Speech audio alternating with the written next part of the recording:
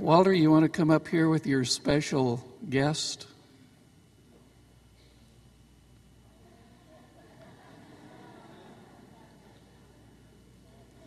He's going to drag him around the other way.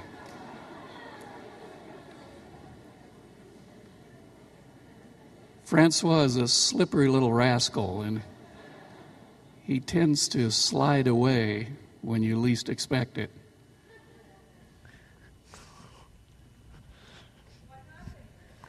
He, he I'm doesn't want scared to of that knock thing. that thing down. Might have run out of miracles.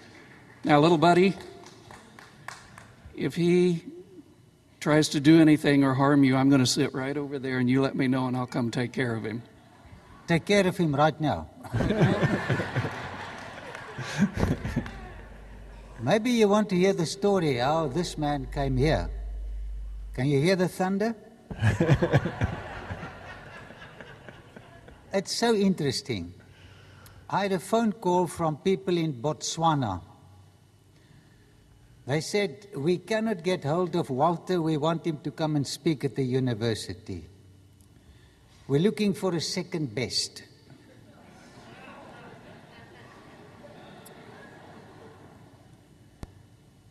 Don't laugh at second bests. so I said, Well, I'll try and get hold of him. So they asked me if I cannot get hold of him, would I come? So I contacted his committee. Sonica is the committee. Because he accepts 10 appointments for the same week. And it's a big mix up when everybody wants him there. And so he, she's doing it. So he came up to my place for a little rest. That's really true. I find it very hard to say no, and they always phone me at the most inopportune moment. And then I say, yes, sure, yeah. And then the next thing I know, it's all arranged, and I'm going to the Ukraine and to Australia on the same day. So he reminds me of Jonah. So he came to me for a little rest, a little holiday. How did you enjoy the holiday? I love my holidays with him. He says, We're going on a little holiday. I said, Please don't invite me for a holiday. I'm coming to work. Because his holidays are a nightmare. You get off the plane, you end up in a hall, and you don't come out until you go onto the plane again. So I don't want these holidays. I want to work next time. Anyway, we went to Botswana. But while he was with me on this holiday, he decided not to go to Nineveh. Get the story. So he was going down to his house, 2,000 kilometers away from my place. But you know, the Lord is, the Lord is brilliant. On his way, we were going to drive about 600 k's, and then he would go left and I would go right. He's a wicked man, but he's got good points. So, what happened at a certain town? He smashed into a. The vehicle was standing and he smashed into it.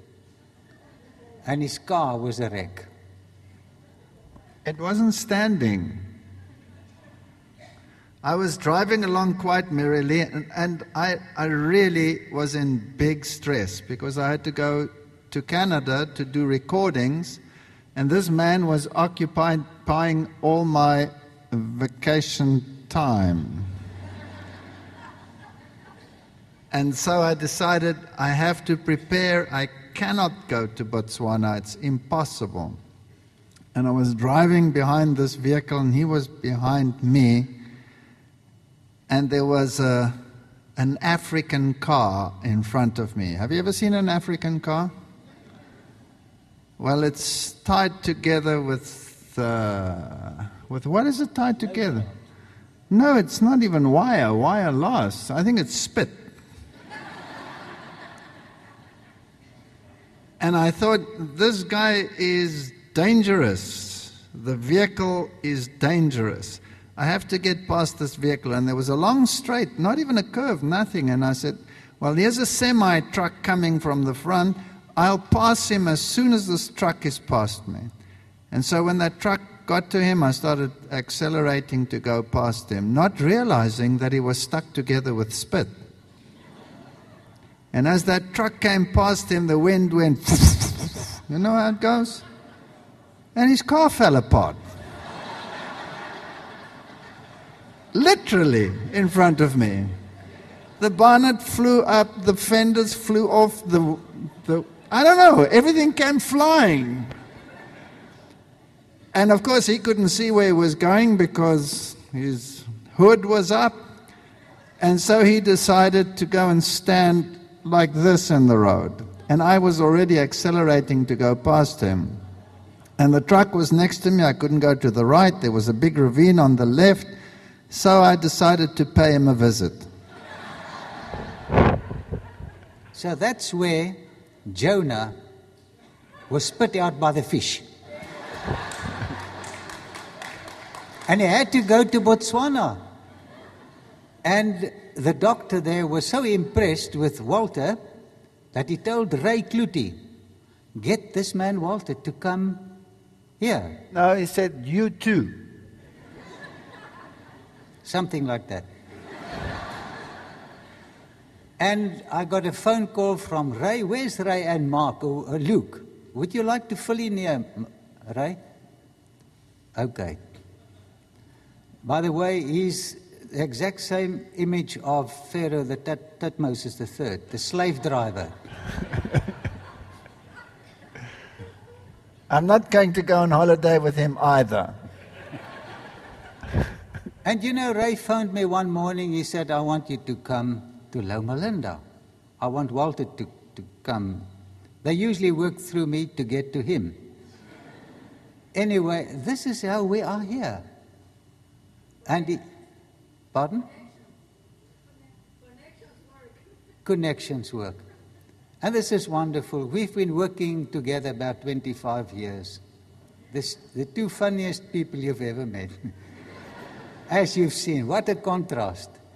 But you know, we love the Lord and we want the third angel's message to be proclaimed. He's doing it from an intellectual hook, corner approach. And I use the simple excavations. We put it together, and there's a buyer for every product. I love you people. Thank you for your kindness, accepting foreigners. Jy vertel van die begin of nie? Wat het begin? How we met. Yes, why not? And how, how everybody just loved it that we worked together. Yeah, I, I met him at Stellenbosch. But you know, when tires are pumped, what do you call it? We call it bars. 2.2 bars, or do you call it po- You know bars. PSI. Pounds per square inch. Okay. And I realized that this man's tires was pumped too, too hard. It was bumpy. And I asked the Lord to just get that tires a little down. And well, I pushed him, not that I like to do it, to come and work with me. And the Lord opened the way and we worked together. But you know, not everybody likes Walter. and they said to me, uh, this, man that's now working with you, uh, don't do this and don't do that, and you know, keep a low profile with this man. And you know, I had to make a decision to just discard my friend or to take orders from the higher organizations. But I was convinced that this is the man that I prayed for to be an evangelist. Because I'm getting old and we've got to get young chaps to, to carry on the work. And he was an answer to prayer. But I want to tell you if you work with Walter, it's, it's something. There's always a crisis in his life because of the message he preached. But I persevered and I said, Lord, I cannot let this man lose.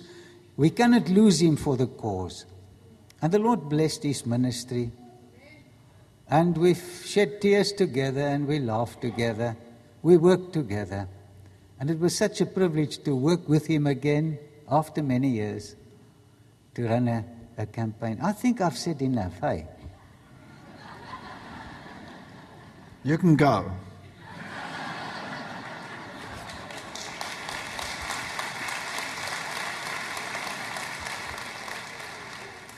There was a young man who spent a long time visiting us and living in our home.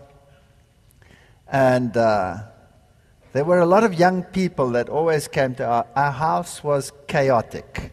Chaotic. Once you become part of this church, life just becomes chaotic.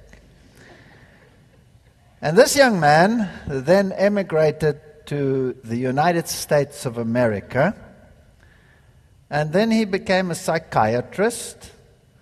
And I think our, our church needs psychiatrists. Because the message creates so many problems that we develop unstable minds. And so I want to call this young psychiatrist to come to the front.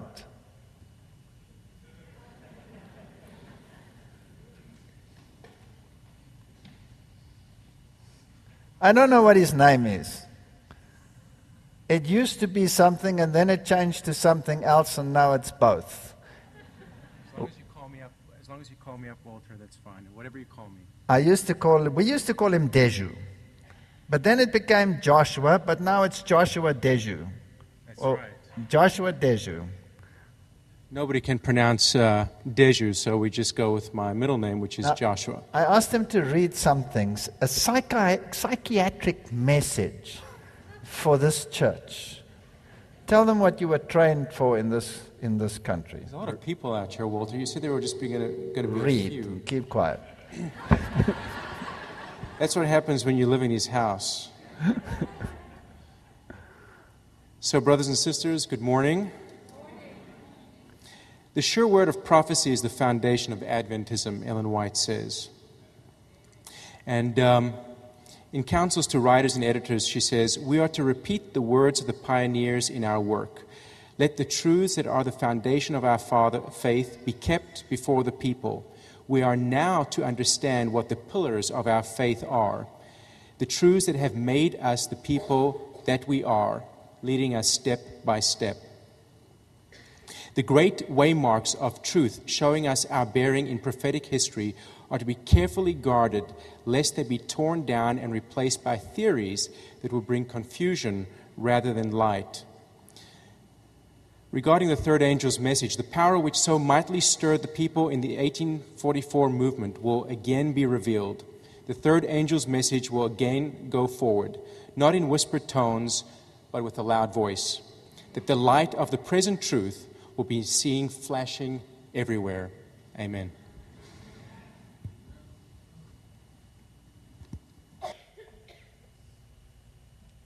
Thank you for that psychiatric advice. Isn't that what we need?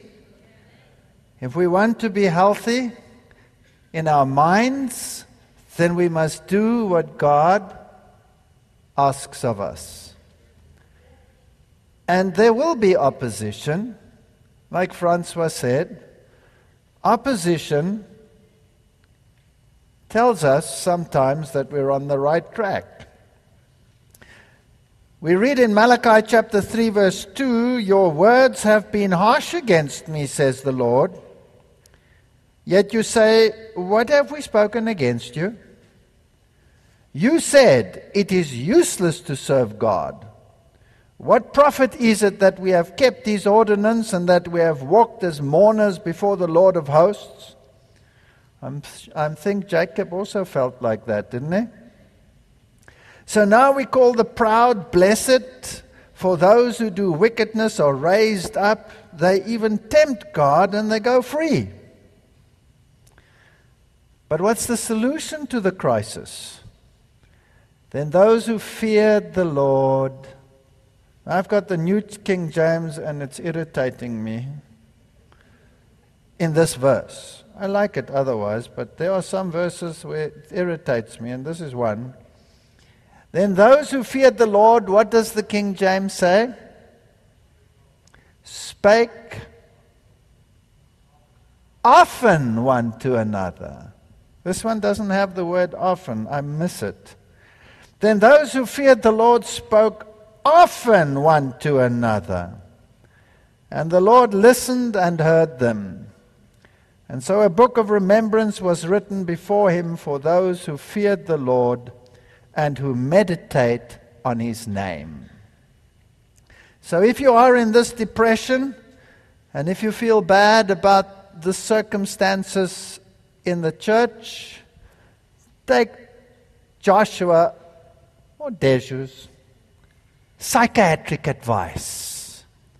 Get back to the pillars of Adventism and preach the three angels' messages. And you will find health. And he says, They shall be mine, says the Lord of hosts, on the day that I make up my jewels.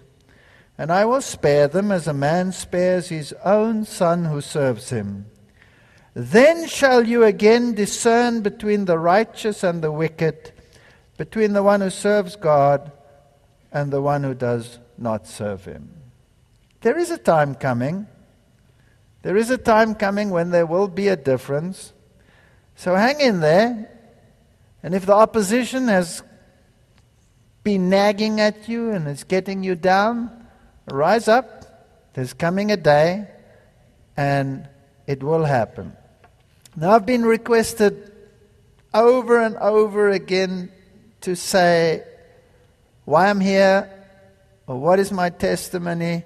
And I said, ah, everybody knows it. I'm not going to talk about my testimony. I don't like talking about all of those things. They will know it. And they said, yes, so what? What if they all know it? Say it again. And I said, no, I don't want to. But here it says, then those who feared the Lord spake often one to another, and the Lord heard. So maybe for those who haven't heard it, and for those who have heard it, maybe I can share some other insights or whatever. Why am I here? Why am I doing this? What fires me? You know, many people, many people who, who are against this message will say, Why are you so arrogant? Why don't you just can it? Why don't you give up? Can't you see we don't want it? And then I say, Well, I'm not going to speak in this name again. And then I said, Lord, I'm not going to do this again. I'm, a, I'm really am a Jonah. Everywhere I go, I have to be spat out by a whale. It's a nightmare. It's very slimy business. I don't want to go, Lord. I don't want to. Leave me alone. And then I go onto my mountain and I walk and I talk to God. And if He doesn't use me for two days, I freak. And I say, What's the matter? Are, are you not going to use me anymore? You said you didn't want to. Yes, but I wasn't, I didn't mean it. And then off I go again. And I said, No, I really mean it. I'm not going to do this again. You know, everywhere I went in the beginning of my ministry, there was always a letter preceding me. Don't let this man talk. Oh, I've had experiences. I've had whole conferences forbid the members to come and listen. In one conference, they said if anyone attends, everyone who attends will be disfellowshipped. Everyone who attends will be disfellowshipped. They even went further than that, line them up against the wall and disfellowship them. Well, they never did disfellowship them because it was about as many as sitting here today and they couldn't afford the loss of tithes, so. the Lord is good. But it's not bad everywhere. But everywhere it'll have its bad moments, isn't that so? And so we can choose, as my friend Francois says, between the two B's. We can become better or we can become bitter. What actuates one just to carry on and to carry on and to carry on in spite of opposition and in spite of what happens? It's experience. If you've had an experience with God and you see people making decisions for God, it does something.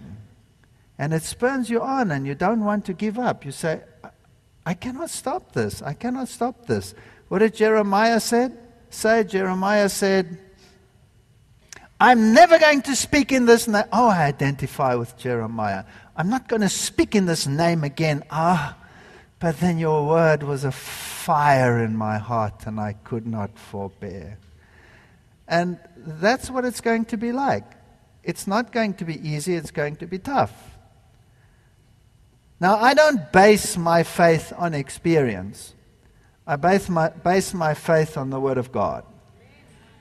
But that doesn't mean that God doesn't give one experience, isn't that so? Because He's kind and He's generous and He's long suffering. Now, when I was out there in the world and I was an atheist and I hated God with a passion, I loathed God. I really hated Him. Why would I hate God with such a passion? If a student in my class just dared to say, Excuse me, I believe in creation, as one little girl said to me, oof, I would blast her. I would blast them. And you know, it's always the girls that got up and said it. Don't underestimate the women. It's always the ladies, not the men. They just sat there. They answered him not a word. the ladies, they were so irritating.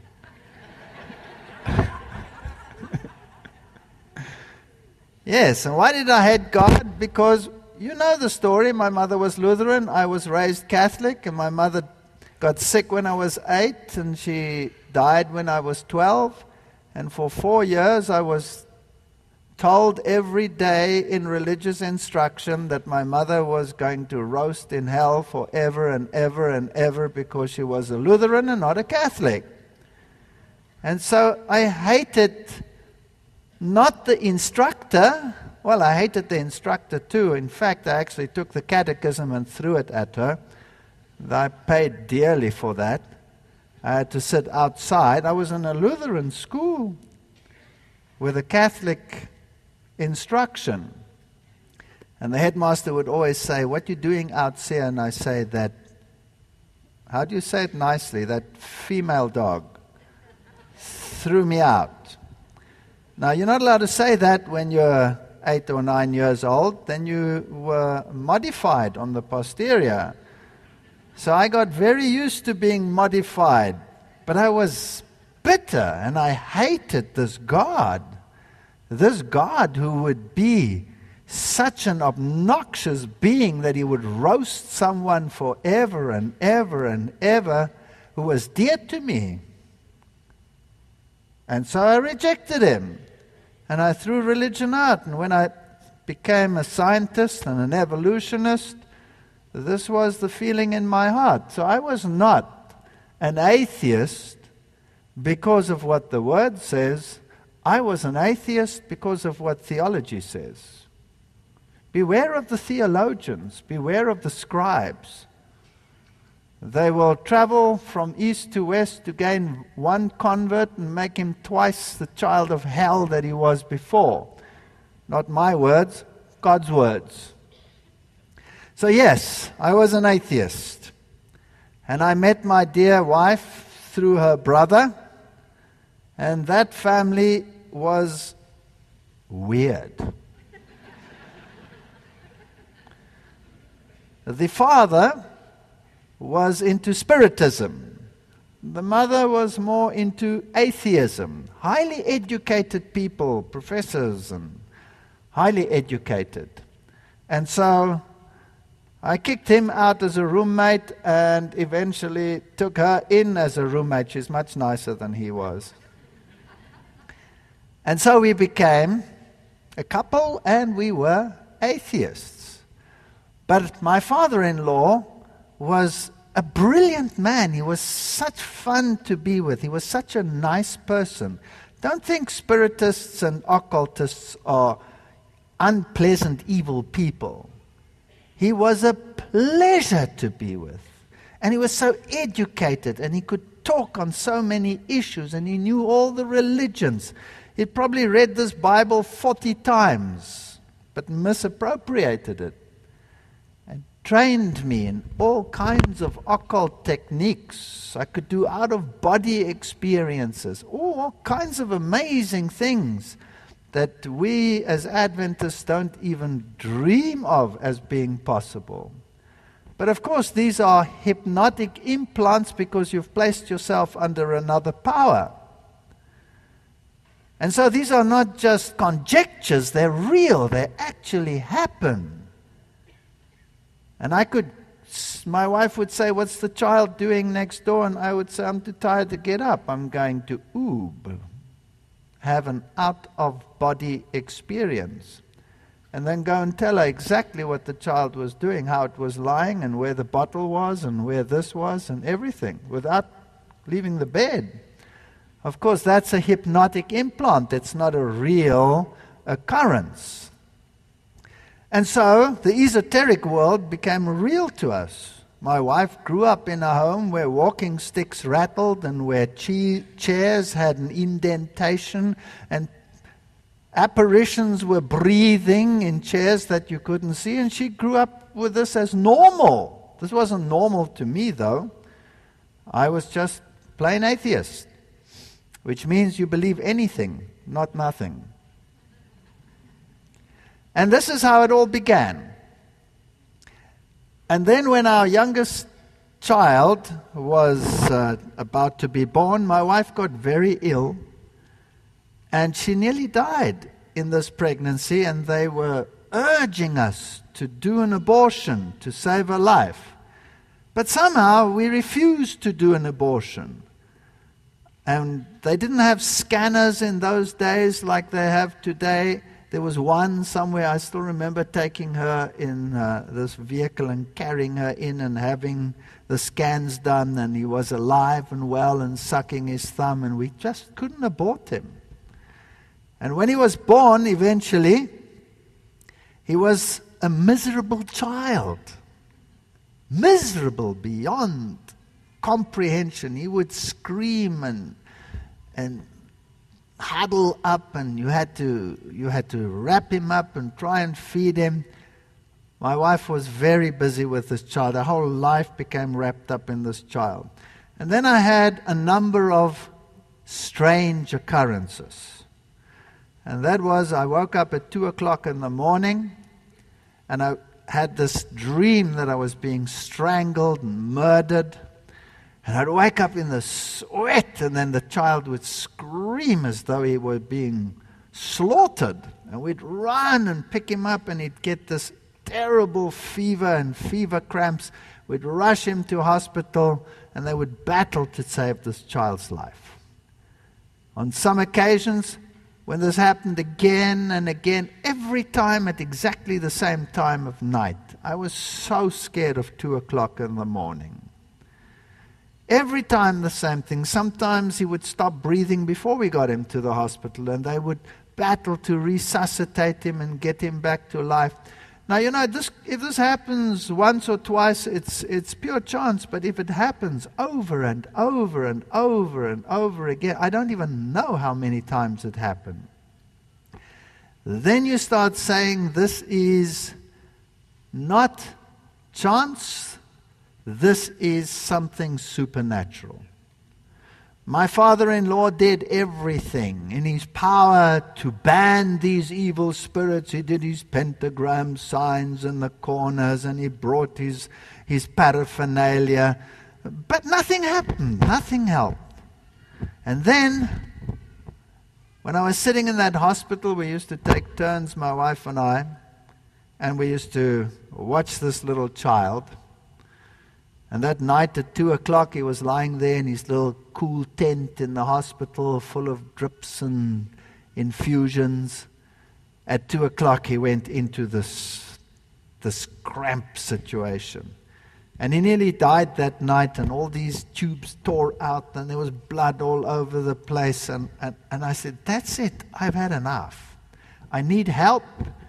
The occult world is doing nothing. There's no such thing as prayer. I don't know God. But I did know one thing And that was that the Roman Catholic Church was known for its exorcism. You know, the exorcist and all those things? So I said to myself, well, oh, this thing's making a funny noise, eh? Let me just try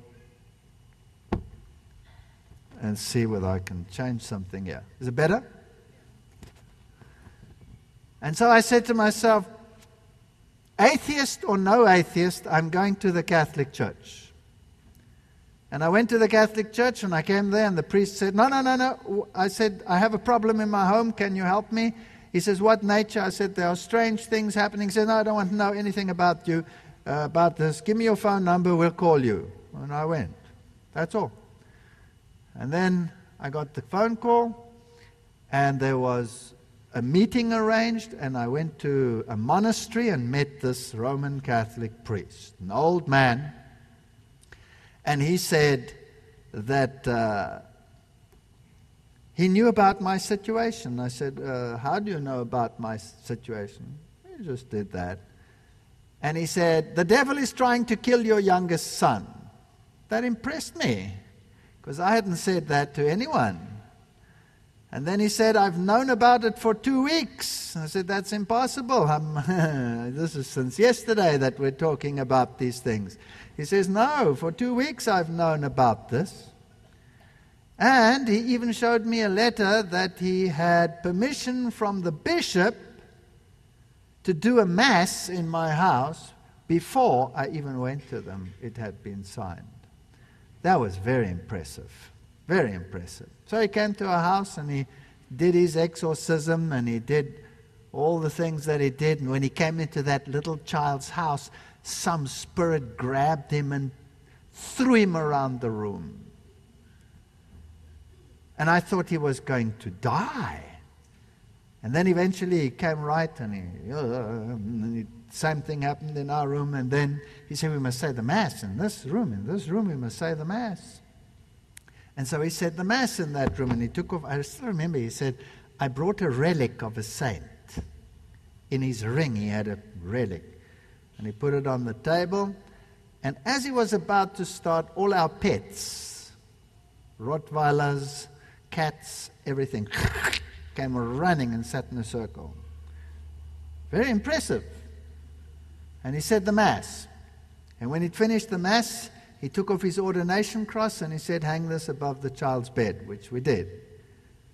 And that night, for the first time, this little child lay on his back, googly googling like normal kids should, and fell asleep right through the night, and the next, and the next, and the next, and the problem was gone. It was gone. That didn't change me. I was still an atheist. I just said, Well, that's great, thank you. My wife gave this man a pottery pot that she had made. She was giving classes in pottery.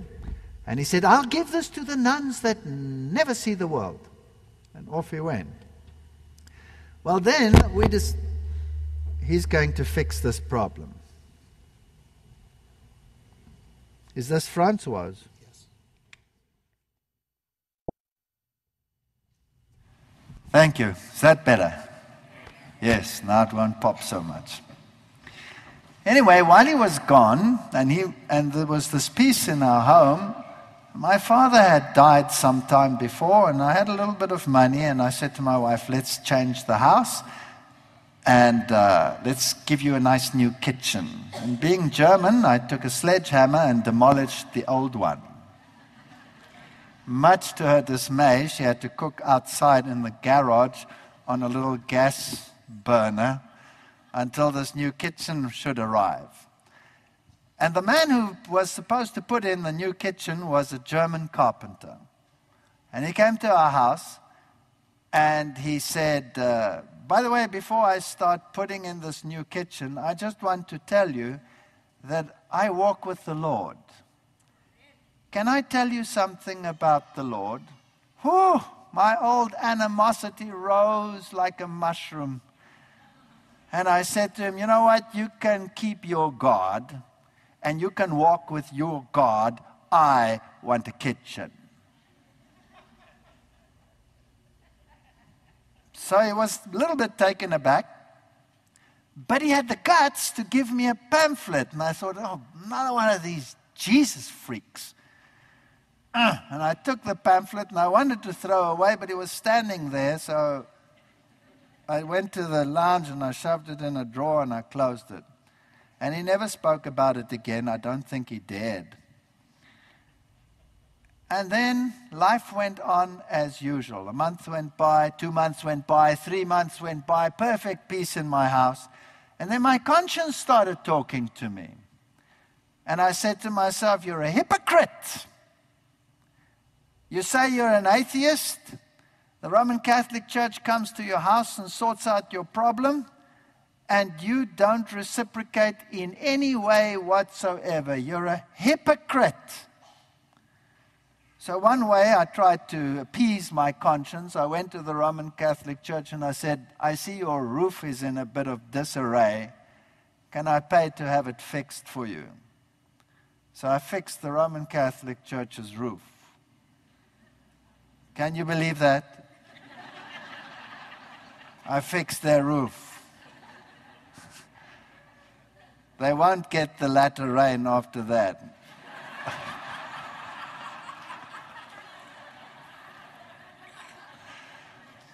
But then my conscience carried on working in me, and so I went back to church.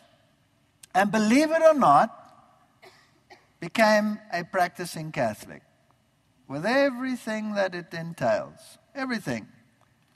And uh, I spoke with the priest about evolution. There was no problem. Evolution, of course, that's a fact. We all know evolution happened, so I had no problem with that. So this was an arrangement. And then that fateful day, this was about a year after the exorcism, when I sat in that stood in that medical class and I was describing the functions of the kidneys to the medical students. But in the process, I did the whole evolution of the kidney from its first simple stages all the way through to the fantastic kidney we have. And this young girl again got up in my class and said, Excuse me, I don't believe what you are saying. I believe God created that kidney. I lambasted her. I ridiculed her. That class was laughing. And she sat down and cried. It was only when, Sonica? When did I discover who she was? How long ago? When did we discover who she was? Was it a year ago or a year and a half ago? About a year ago. Only a year ago did I discover who she was. She was a Seventh day Adventist. And she's married. She's married to a Seventh day Adventist pastor. And she now resides in the United States of America. But she sat in my class. And when she heard that I had become an Adventist, she first fell off her chair because she wouldn't believe it. She wouldn't believe it. You know what? Little thing. You say a little thing and you get a slap as a consequence. You never know. Francois has made many enemies. He baptized this one woman and her husband said, I'll kill you. If you baptize her, I'll kill you. But Francois has this philosophy do what is right and leave the consequences to God. And so he baptized her, and the man threatened to come with his shotgun and kill him while doing this. Well, he did come, but he didn't bring his shotgun, but he was furious. Furious. And uh, that was about 24 years ago, I would say. He was so angry. I'm digressing, but I'm just telling you, mm, filling in a little bit. And after the service, he confronted Francois. Now, Francois is a very tall man. You've noticed that, right? and my wife prodded me and said, they were talking out there, and this man was very agitated. And so I saw, ooh, here's trouble, here's trouble. So I ran out there, and just as I got there, I stepped between him and Francois, but his hand was already back to take the punch. And fortunately, he was aiming at Francois' face.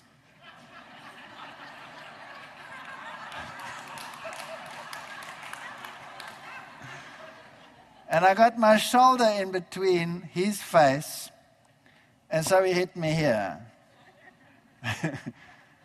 and I went flying. I didn't know I could fly, but I went flying. and I ended up way over there. And he got a fright and he ran away, this man. So we took a blow from this man, right? And for the next 24 years, this man made his wife's life hell on earth. And she stuck it out and went to church, and he would be impossible. Nobody was allowed near him. If he would dare to even mention, Can he talk? he would kill him in his house. He was baptized last year.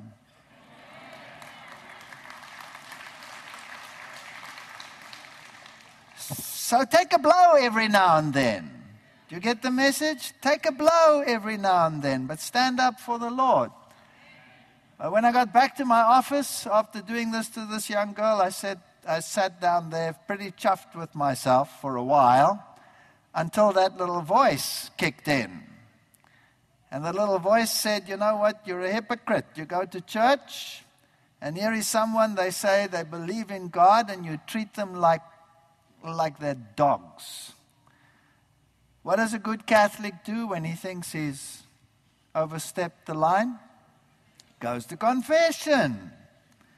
So off I decided, all right, I'll go to confession, but it was a bad time. It was lunchtime, and uh, the priest wasn't there. So I knocked. I'm a very persistent man, I'm a German. I went and knocked at the nuns' quarters and I said, Where's this priest? This is very inconvenient that he's not here. I want him right now. And they said, No, he's gone. He's gone shopping, but he should be back within a 15 minutes, half an hour. Why don't you sit and wait? So I went and waited in the church. And the little red light was burning, which means the consecrated host is there. And so I started speaking to God. But as I spoke to him, I realized I'm speaking to the consecrated host, the Corpus Christi, the body of Christ. That means he's dead. He's not alive, it's just a, a host. And I received no feedback. And I was irritated because the priest wasn't coming. And my whole religious experience went through and I had this burden and I wanted to get rid of it, and the priest wasn't coming. I couldn't get rid of the burden, and I couldn't offload it on God because he was dead. This is what I'm thinking. And so I'm thinking by myself, now, what do I do in this church? I come to this church, I, when the bell rings, I go down. The priest says, And the Lord be with you.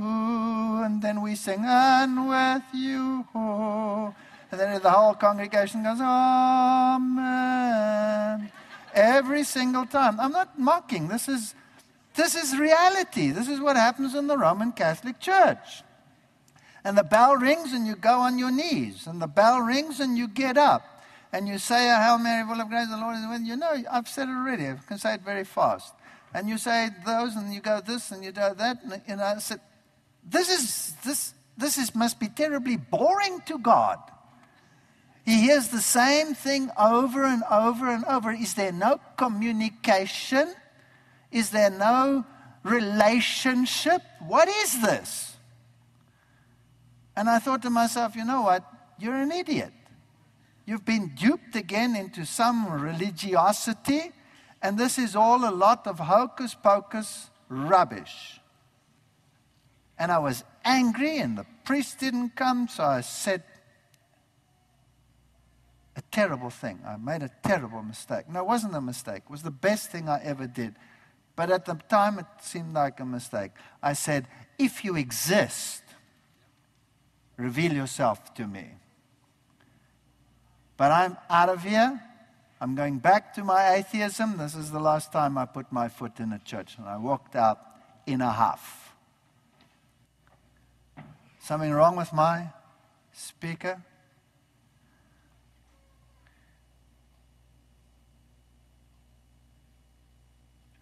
Thank you. We're going to try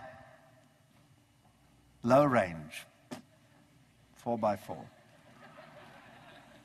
Anyway, wow, I better speed up quickly. What happened then was I came home and I was looking for something and I said to my wife, Where's it? And she said, Top drawer, left hand. I opened it up, took it out, whatever I was looking for, and my eye fell on this pamphlet, and the pamphlet said, The commandments of God had been changed. And that's where it all started. And I looked at it and I asked her if we have a Bible, and we don't have a Bible. And then I remembered a box an old lady had given me, and I looked in there, and there was a Bible, and I compared it, and yes, it was right. And I fetched that carpenter to my house, and we went through Revelation, and we went through Daniel, and he showed me the little horn, and he showed me all of these things, and my eyes went.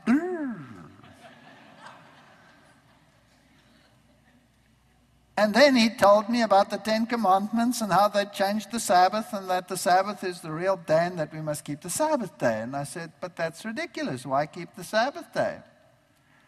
Six days shall you labor and do all your work, but the seventh is the Sabbath of the Lord your God. Why must you keep it? For in six days the Lord made the heavens, the earth, the sea, and the springs of water. That's ludicrous. We came into existence through evolution. He said, No, we did not. And I said, Yes, we did. And he tried to argue with me. He was a carpenter. I treated him like I treated that young girl. And eventually, after a long try, he said, You know what? I don't have a problem with evolution. You do. and he walked off. And that's where it all started. And I started questioning and I said, Well, if you exist, then is there something wrong with this evolution? And all this battle starts. And I get to work and somebody hands me a big document. Remember, never at work did I discuss religion. I was the atheist lecturer at the university. The secretary gives me this document, and I'm looking at it, and it says, Why Sunday is the true day of rest. I thought, what's he giving me this for? I mean, I never discussed religion with her in my life. And I'm, I'm battling with evolution. I haven't got time for this. I give it to my wife. And my wife goes through this document as to why Sunday is the true day of rest, and she decides the Sabbath is the true day of rest.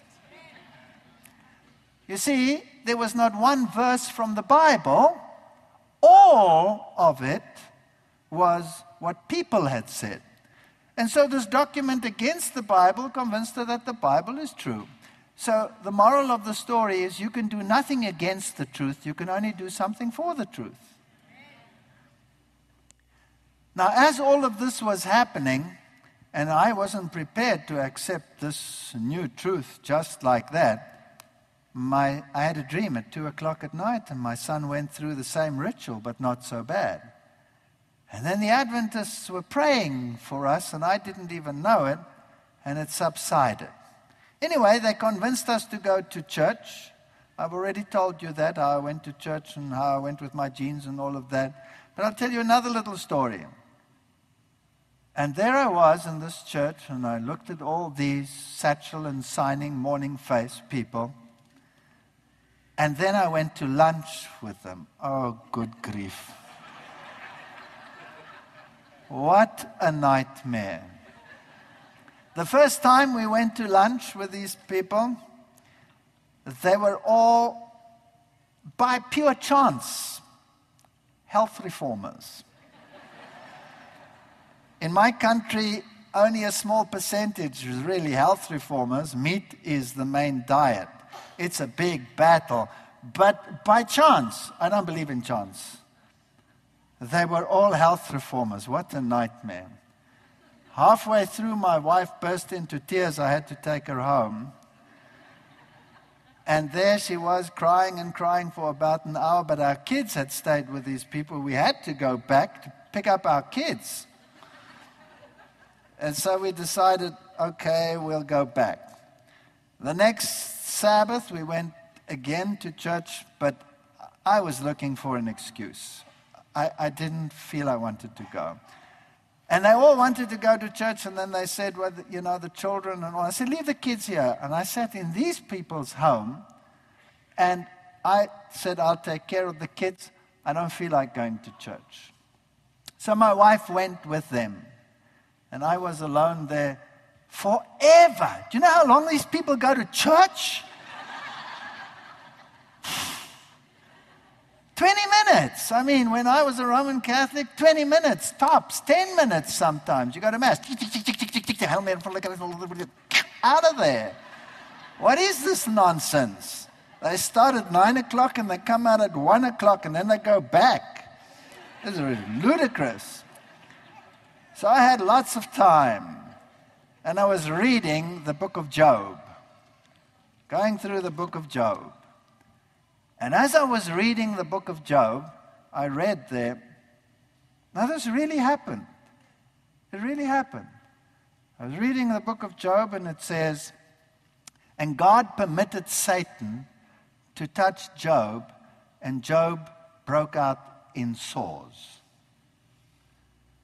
And I read this, and I closed it, and I threw the Bible down, and I said, You know, what a load of rubbish. What a load of rubbish. Here I am again sitting in some religious sect that munches carrot leaves from morning till night. My wife is stuck there in church forever, and here they say Satan caused sores. This is rubbish. Sores are caused by infections. It's a bacterial infection. You have cut yourself, hurt yourself, and you got infected, and maybe a streptococcus, staphylococcus, or whatever that's stuck in there. You need an antibiotic, but this is rubbish. Satan doesn't touch you, and you break out in boils. So I started reading again, and the more I read it, the more irritated I got with a supernatural story. I mean, for a scientist, would you agree it's pathetic? And so I got angry and I got agitated. And I, and I, was looking at my watch. When is this wife of mine coming out of that church? I want to go home. I want to give up this nonsense. I'm going back to my normal lifestyle. This is, this is a waste of time. And then I read again and I was still irritated with this, and I, got a, I was aware of a pain. And I couldn't figure out the pain, and it got worse and worse. And in the end, it was a fire, and it was burning right there. Now, there's no way you can pull up your pants leg to there. The only solution for that is to lower the belt and try and get at it from the top. It was horrendous pain. And eventually I ran to the bathroom because the kids were playing there. I couldn't very well whip my pants down. and I went to the bathroom, and, and here was a sore on the top of my leg. It was blood red and full of bumps, and the water was oozing out of it, and it was burning like fire. It shut my mouth up for a while because I was just concentrating on the pain. And when she finally got out of that church, I was out of there. We rushed home, and I said to her, Look at this thing. And she looked at it and she says, I don't, I don't know what that is. I've never seen anything like it. It's not a bee sting or a spider bite. You think of all these possibilities. Doesn't look like anything. There's no puncture mark. It's just red and bumpy and leaking. And so I said, okay, maybe, maybe there's something after all. And so I said, okay, okay, okay, I'll, I'll give it another shot. If, if this is from you, then please take it away. And it was gone. Just like that. Gone. I said, wow, that's fantastic. And then I said to my wife, you know what? I think we're going nuts. I think this is psychosomatic. I think we have religious overload. And somehow my nervous system induced this sort of stuff. I think this is all a load of rubbish. And I think we have to just cut loose from all this religious paraphernalia and just go back to our own lives because this thing, I think, comes from my mind. No way is this from God. And I hardly said that sentence, it was back. Ah, and it was so painful. It burned like fire. And it stayed there for, I don't know, two weeks. It wouldn't go away until I said, okay, okay. Nothing worked on it, nothing. Now, that's a supernatural experience. It's not one that defines my religion, but it's something that jerked me into reality. The bottom line is we lost everything when I became a Seventh day Adventist. I had to resign my job. I resigned it of my own accord because I couldn't go and reconcile teaching evolution and teaching um, creation at the same time. That's when I visited the rector. We put our house on the market, we sold our house, off we went. And we had a partnership in a farm, and we were going to survive like that. But you name it, it went wrong. Every single thing went wrong.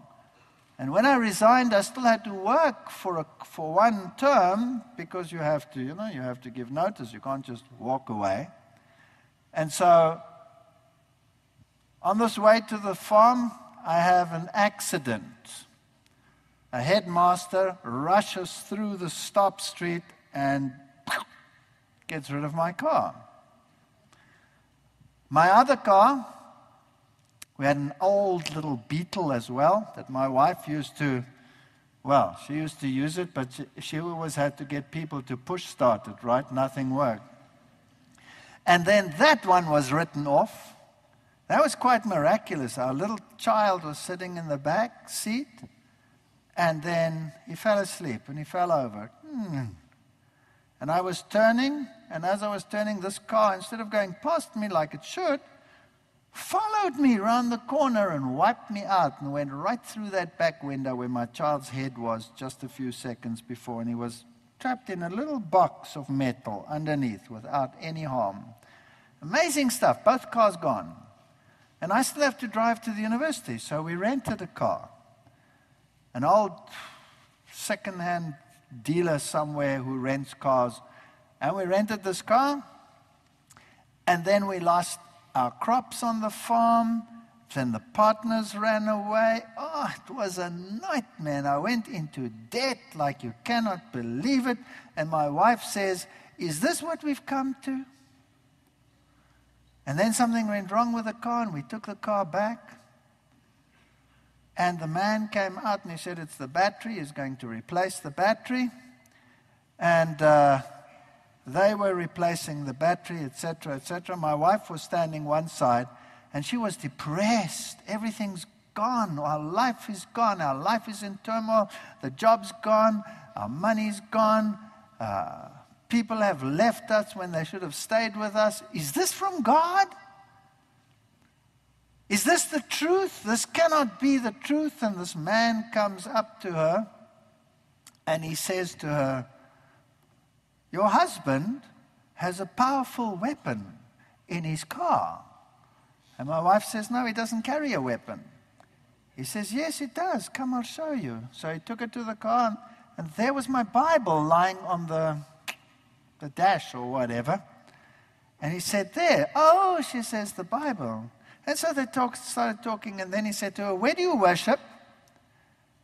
And she said, She doesn't want to say Seventh day Adventist. That's that's, you know, taboo. She says, Well, in that town.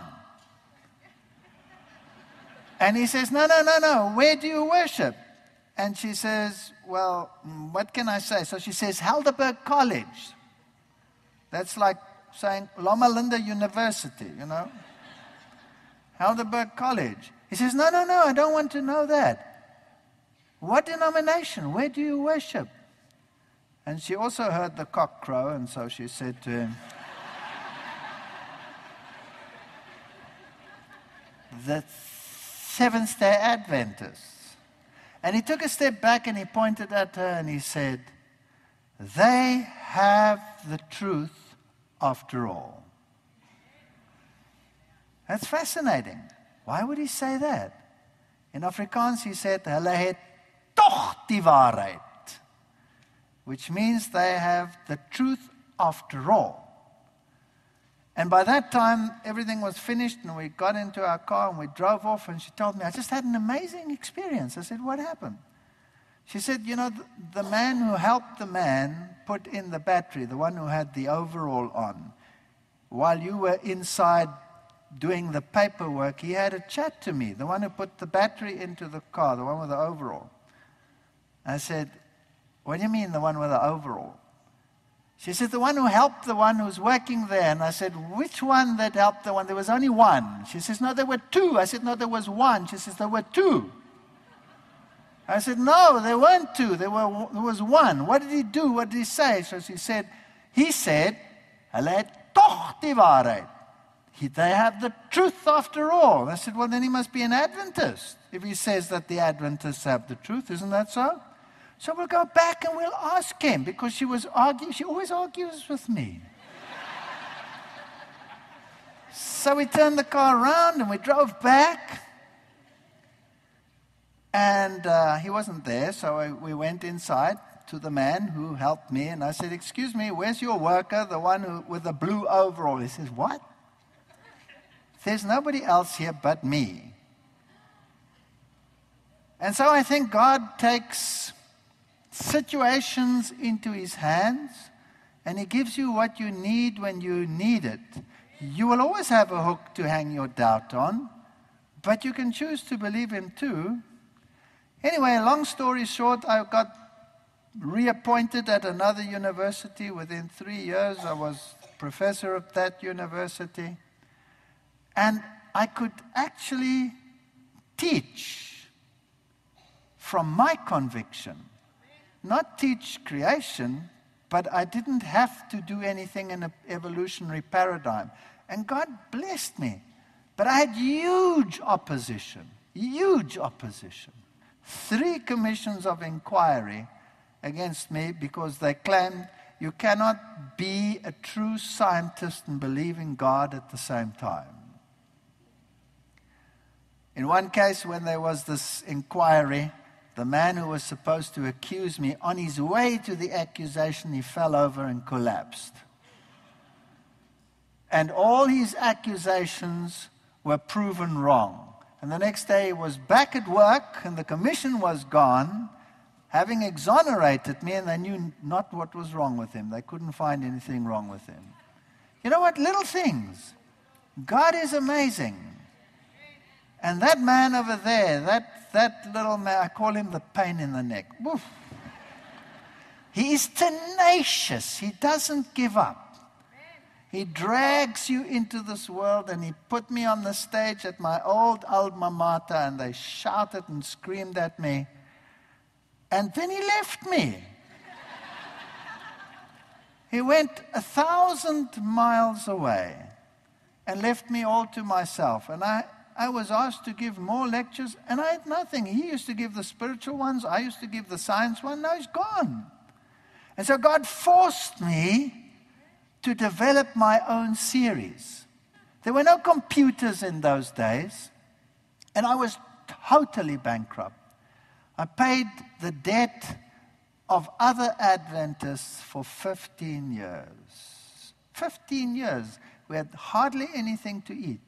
I've been invited to go overseas and do this, and I've got, I haven't got any money. I've got nothing. We're struggling. And I have to make these slides. So I went and bought film that was past its expiry date. And I made my own rolls of film in the dark room, and I started taking pictures of whatever I was lecturing on. And then I would give the lecture that evening after university time And I was thinking, how am I going to feed my family? I've just spent my money on all these films. And somebody would come to me and say, here's something for you. And it would be exactly the amount that I'd just paid on those films. God never let me pay for anything in His work. I would have to supply it and He'd give it back. Supply it and He'd give it back. And little things all along the line, giving you confidence. And then the very first meeting, where I was invited overseas, I was invited to give a talk or lecture series, a whole, my first big series was in Vancouver. And there I went, and as usual, the letters preceded me don't let this man talk, don't let him do this, and he will preach vegan lifestyle, that's from the devil. He'll preach this, he'll preach that, he'll preach that. Don't let him speak. So I get overseas and I get this cold shoulder. Nobody. You're all alone, except the people that I didn't know who had invited me to give the talk. Double sessions, 1,260 people, Massey Hall Theatre, Vancouver. Double sessions. Now, I'm giving the first session, I'm giving the lectures on the Antichrist. You know, like the pioneers gave it, you say the Antichrist is the Pope? You know, like they did it in the old days? And after the first lecture, this crowd is highly antagonistic. They come rushing forward and they want to sort me out right here on the stage, here in the front, and there was no way out.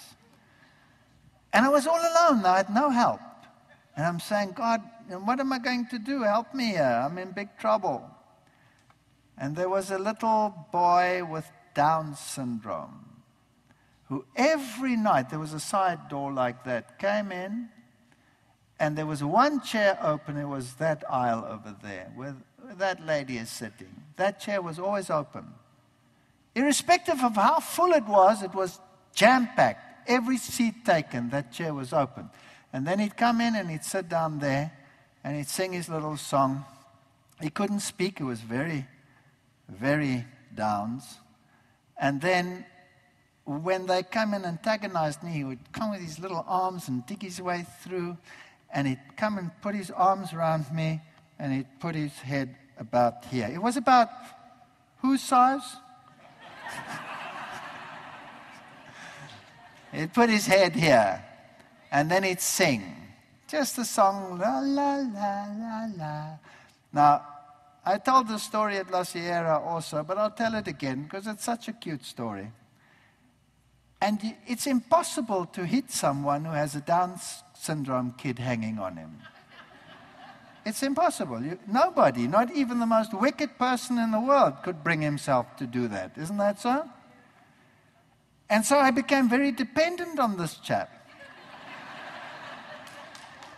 And I'd give the first lecture, and sometimes he wasn't there. Panicked. I said, Where's my Down syndrome boy? And I'd stretch the lecture. You don't think I can do that, eh?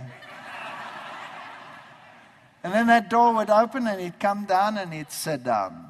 Ah, and then I'd finish my lecture. And he came and gave me my hug. Now, I didn't know where he came from. I thought he was part of the furniture.